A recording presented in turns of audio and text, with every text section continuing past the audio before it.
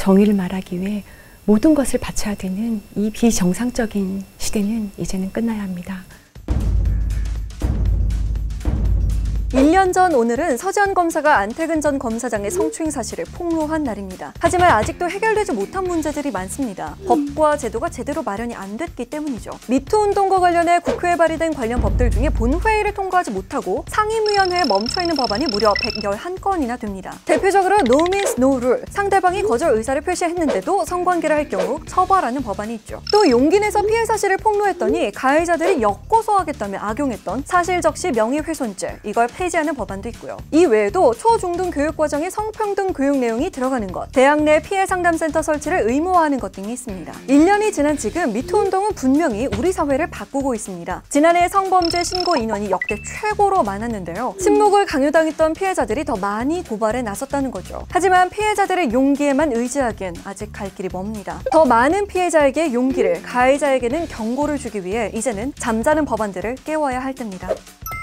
여전히 카톡이 국민 메신저지만 요즘 페메랑 인스타 DM도 많이 쓰잖아요. 접속 중인 친구들 목록 쫙 뜨고 내가 보낸 거 누가 언제 읽었는지도 알 수 있고 굳이 다른 어플 켤 필요도 없다 보니까 20대, 20대 사용자 수가 엄청 늘었는데요. 그런데 이렇게 많이 쓰는 페메랑 인스타 서로 통합될 계획이라고 합니다. 페이스북은 우리나라에서는 잘 안 쓰는 왓츠앱까지 합쳐서 25억 명 규모의 통합 메신저를 만들겠다고 하는데요. 아니 이게 무슨 끔찍한 혼종이야 라고 생각할 수 있지만 아예 완전히 합쳐지는 건 아니래요. 각각의 앱은 그대로 존재하고요. 서로 자유롭게 연동이 된다. 이 정도로 생각하면 됩니다. 예를 들어서 제가 인스타 계정이 없어도 페메로 인스타 쓰는 친구에게 바로 연락할 수 있는 거죠. 근데 페북이 왜 갑자기 서비스를 통합하는 걸까요? 정확히 알려진 건 없지만 경쟁자인 애플의 아이메시지에 대응하고 자기들이 인수한 왓츠앱의 가짜 뉴스를 확실하게 통제하기 위해서라는 추측들이 나오고 있습니다. 과연 이 통합 메신저가 분위기를 바꿀 수 있을까요? 아니면 그냥 또 하나의 혼종으로 남게 될까요?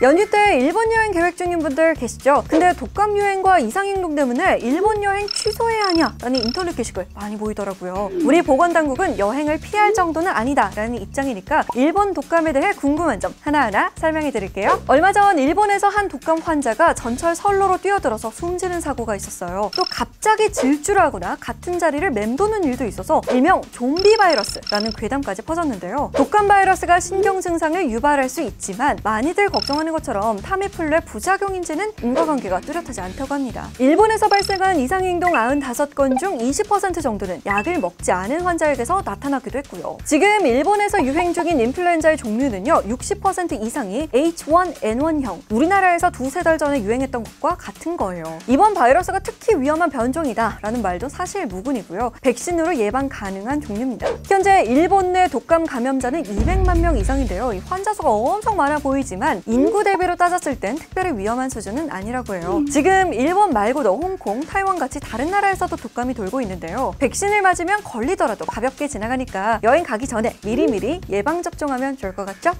여러분 오늘도 구독과 좋아요 잊지 말아주세요. 내일 만나요 우린. 안녕.